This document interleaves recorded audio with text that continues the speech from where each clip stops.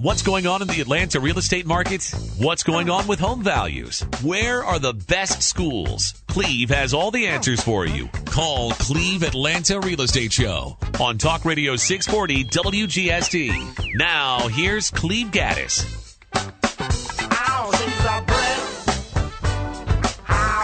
You're listening to the Call Cleve Atlanta Real Estate Show on Talk Radio 640 WGST. If you need to reach us, Gaddis Partners Remax Center, you can call 770-497-0000 or you can go to gogaddis.com. That's G-O-G-A-D-D-I-S dot com. One more time, G-O-G-A-D-D-I-S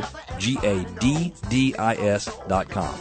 Let's jump into our lowdown on the hood segment. Each week, we spotlight one specific Metro Atlanta neighborhood to call out critical changes in market pricing and discuss other important information to help you identify unique opportunities in that specific neighborhood or market area.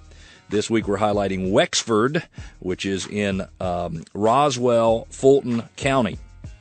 It is west of 400 uh, between Woodstock and Howes Road on 92. So Holcomb Bridge, uh, basically where Holcomb Bridge crosses 400. If you get off and turn left, you're going to find Wexford uh, about six or eight miles um, headed toward uh, Cherokee County. We're going to try to identify what was the market high pricing when the market was rocking and rolling, how low did prices get during the recession, and how well have they recovered since the recession. In 2007, the average sales price in the neighborhood was $405,000. There were 22 homes sold. By 2011, sales prices had dropped 30%, 30% to 285,000. Listen to this, Alfie. Year to date in 2015, sales prices have increased back to 411,000, so higher than they were in 2007. So they went down 120,000. They went up 125,000. What does that mean, Alfie? That means the average homeowner in that neighborhood has twenty hundred twenty-five thousand dollars more equity today than they did in 2011. And if you take all 420 homes in the neighborhood, they collectively have 53 million dollars Wow. more equity. That's crazy. I'd like to have a little of that fifty-three No million, wouldn't you? So if you need part of fifty-three million, head to Wexford subdivision in the Roswell, Fulton County area. If we look at it on a scale of 100, Alfie, and we say the year 2007 is represented by a sales price average of 100, sales prices dropped to a 70 in 2011 and back to a 101 in 2015.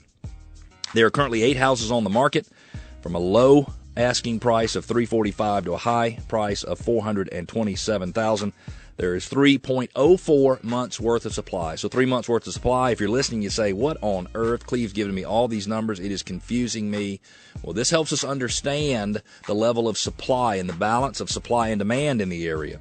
We say that when you have 4 or 5 months worth of inventory, what does that mean? Well, if you take the number of sales that took place in the last year and you divide it by 12, then you determine that market's ability to absorb property, meaning how many people will buy and close an average property per month. So if you had 12 in a year, then it has the ability to close one per month per year. And it doesn't mean it's always going to stay that way. But if you had, for example, four properties on the market currently today in a neighborhood that had 12 home sales in the last year, you would have a four month supply of inventory. If your inventory is four or five months, we consider that a balanced market. If it's under four months, and in this case, Wexford uh, is 3.04 months worth of inventory, we consider that a seller's market. And if you have more than five months worth of inventory, six months or higher, we consider that a buyer's market. The elementary school is Sweet Apple, middle school is Elkins Point, and the high is Roswell. Roswell got, gets a school chimp score of 96, which, by the way, is an improvement for that school over the year before. This is called Cleve Atlanta Real Estate Show on Talk Radio 640 WGST.